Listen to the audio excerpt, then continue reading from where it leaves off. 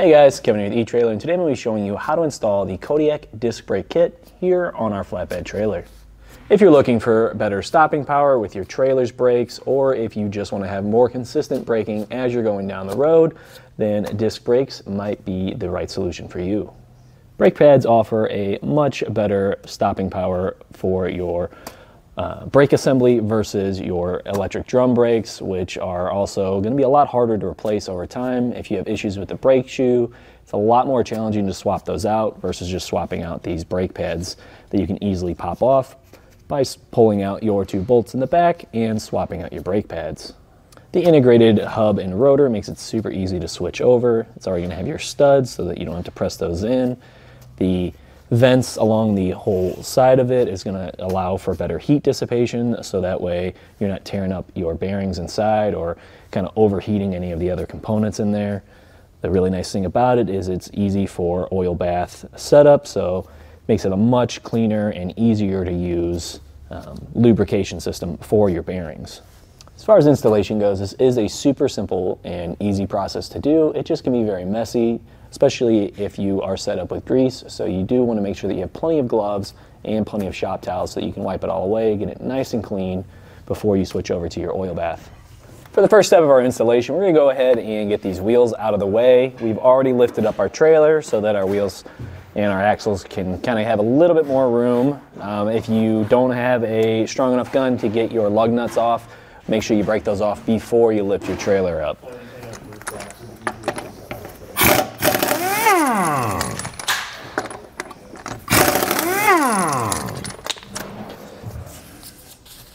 Next, we're going to take off our oil cap right here.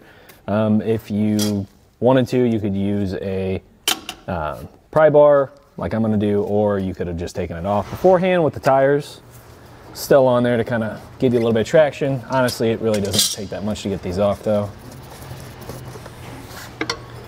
Next, I'm going to go ahead and kind of clean up some of this grease a little bit.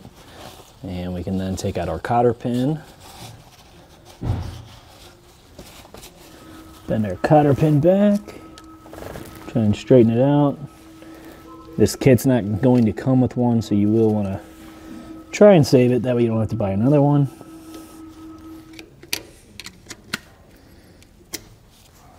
Next we're going to go ahead and take off our castle nut and then our washer. Since we're going to be reusing these parts, I want to make sure that I clean off all that grease. So I'm just taking some brake cleaner. Just spray them down and then kind of wipe them off with a, in the shop towel.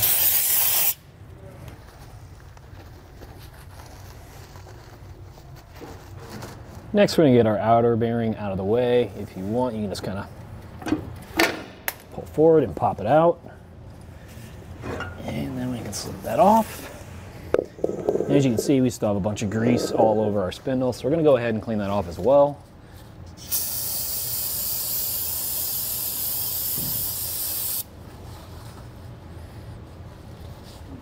Next we can go ahead and remove our brake assembly from our brake flange. What we're going to need to do is pop off the nuts from these five bolts right here. And we're going to want to save these because they do not give you any more in your kit. So we'll just reuse them.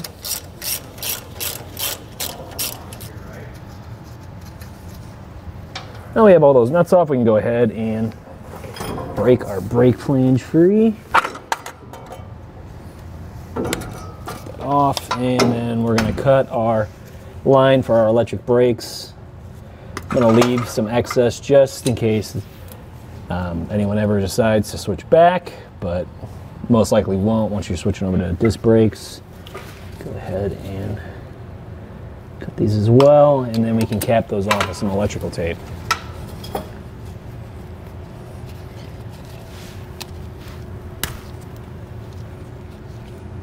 Next, we're going to go ahead and put on our mounting bracket for our brake caliper. And to do that, we're going to want to make sure that we have it facing this way. As you can see, it's going to kind of force the brake caliper away from the trailer frame to give us enough space. If you look at the other side, it's going to be kind of nice and flat, no uh, wording on there or anything. But if you look at on this side, you'll have the model number for that specific part. We'll go ahead and slip it up. There's a bunch of different holes on here so you can kind of adjust it as needed Um, if you have issues with space, maybe you're not going to be able to get the caliper on there because of the frame being in the way, you can kind of adjust that around. I'm going to do it so that our calipers are facing towards the rear of our trailer. So I'm going to go ahead and reuse those nuts and I'll just hand tighten them on and then we'll go ahead and tighten them down a little bit more with a wrench and then torque them down.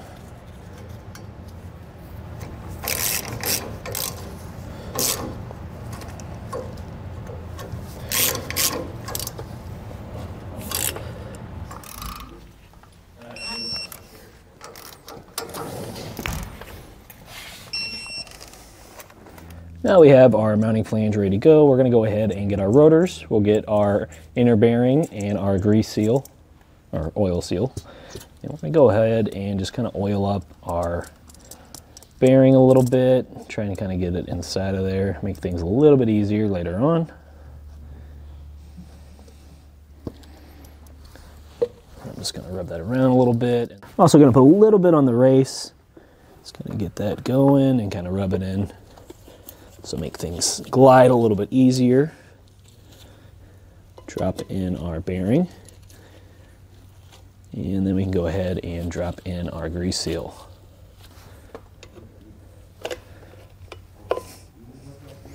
Now we're gonna go ahead and hammer in our grease seal. To do that, I'm gonna use a piece of wood so I can get a nice even pressure going down on it so it'll go straight in. If it comes in kind of crooked, then you can have the potential for a leak.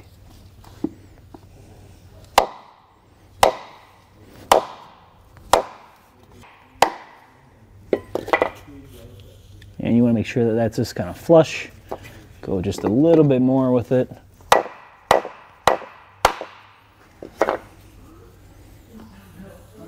right, that's pretty good. Now we can go ahead and take our rotor and pop it onto our spindle. And we're gonna give it a few good pushes, kind of get it in place, and then we can take our outer bearing and slip that on. I'm gonna go ahead and just grease this up as well.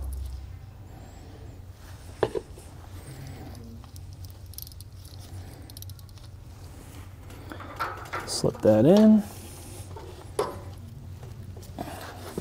Get that pushed on. And then we can go ahead and take our washer and our castle nut. And we'll start threading that in.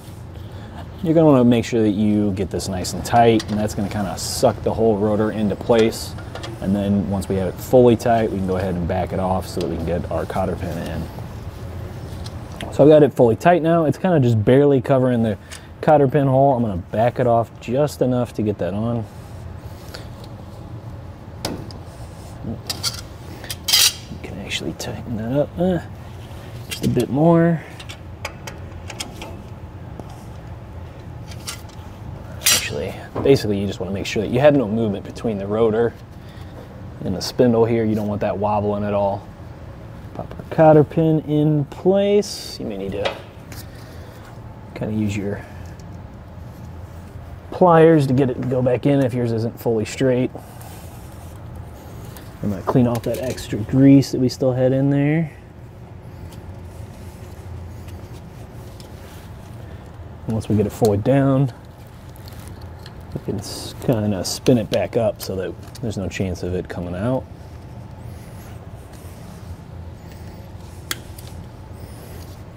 Then we can go ahead and put on our oil cap. I'm gonna do it hand tight, and then I'm gonna come back with my channel locks but I'm also going to use a little bit of padding with some shop towels just because this is plastic. You don't want to end up scratching that up or breaking it. I'm to go ahead and my pry bar to kind of prevent our rotor from spinning and just tighten this down.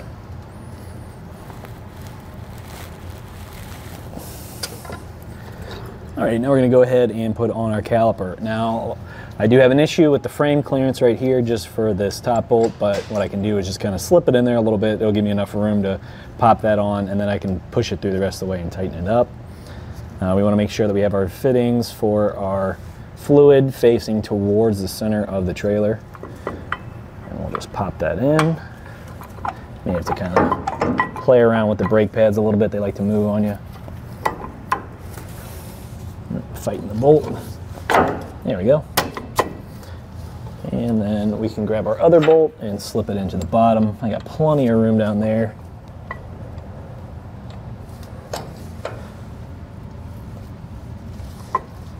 And we'll just get them hand tight. Next, I'm gonna go ahead and take a half inch wrench and we can fully tighten these down.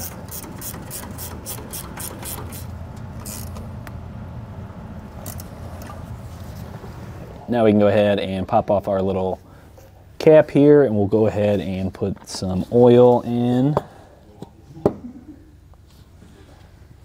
We're going to fill it up just to the bottom of our opening here. And we'll spin it around a little bit and kind of let it leak into the bearings and lube everything up.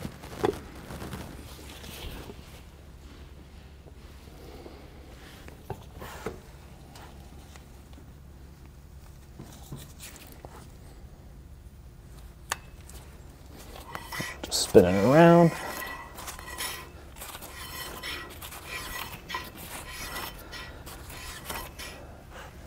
It's a little cold, so our oil is a little uh, thick right now. So I'm just going to let it kind of sit upside down, let it kind of leak down and get into everything. And we can go ahead and repeat the same process at each brake hub.